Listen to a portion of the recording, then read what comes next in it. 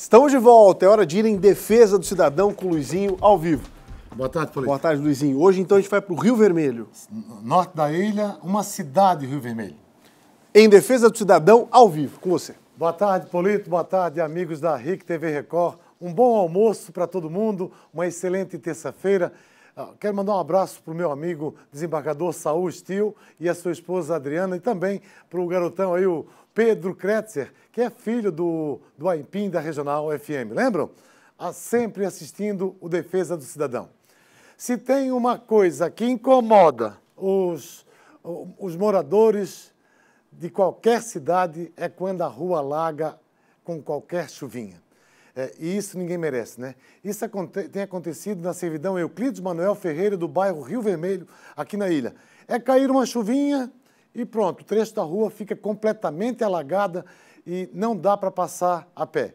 É, essa situação vem ocorrendo há mais de 20 anos e a prefeitura nada faz. Vem prefeito, vai prefeito e a servidão Euclides Manuel Ferreira sempre alagada. E o problema, gente, é fácil, muito fácil de resolver. Alô, secretário Walter Galina, senhor que é do trabalho, né? Tá aí a bola na marca do pênalti para você chutar e fazer o gol. É fácil de resolver, Galina. Vamos à reportagem.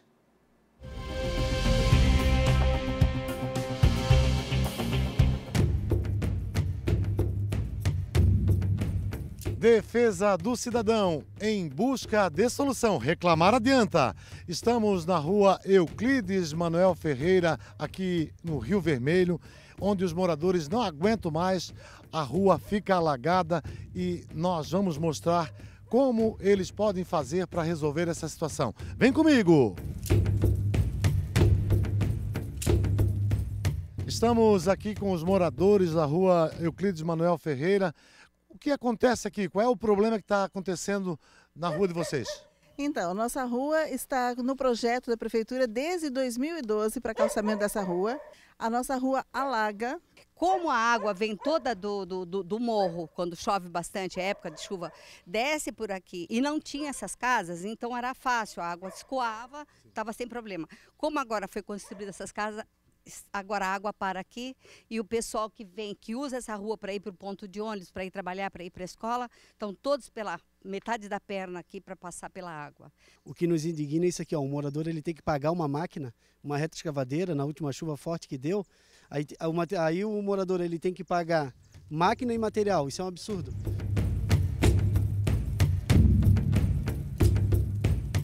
Olha, gente, estamos a poucos metros, vejam, vejam essa boca de lobo, do problema que é lá. Ó. Então, uma, uma máquina resolvendo aqui, tirando essa lomba ali e fazendo com que a água desça pela gravidade, está aqui a boca de lobo que vai recepcionar, vai canalizar toda aquela água que alaga lá no meio da rua. Portanto, alô prefeito Jean, eu já arrumei a solução para o senhor, hein? Tá fácil, hein? A bola tá na marca do pênalti. Alô secretário Galina, olha aí, ó, coisa simples, dá para fazer amanhã e ganhar o sino da realização. Defesa do cidadão, em busca de solução. Reclamar adianta. Prefeito Jean está de, de, de, férias aí, está de, de, licença sem remuneração. Então, quem está no, no comando é o vice João Batista.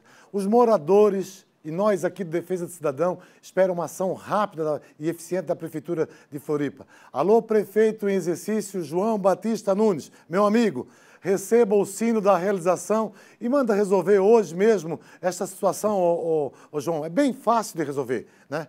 E quero tocar no assunto da Praça 15 de Novembro aqui no centro. Sem policiamento, muitos consumidores de crack, de, de maconha. Cadê a Polícia Militar de Santa Catarina?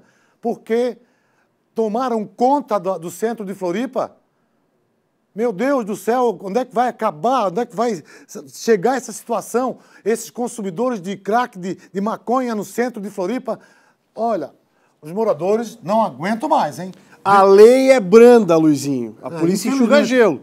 Se nós mexermos na lei, punição severa para quem faz isso. Realmente. É, tenha um CPF e um CNPJ no Brasil e você é perseguido, que é o cidadão. Uma pena, porque deveriam perseguir quem comete os crimes. Mas muita coisa tem mudado. Ah. Muita coisa. Aos poucos. Aos poucos. Devagar e sempre. Defesa do cidadão Em busca de solução. e reclamar adianta. E como adianta. Até amanhã. Um abraço, até amanhã. Tchau, tchau.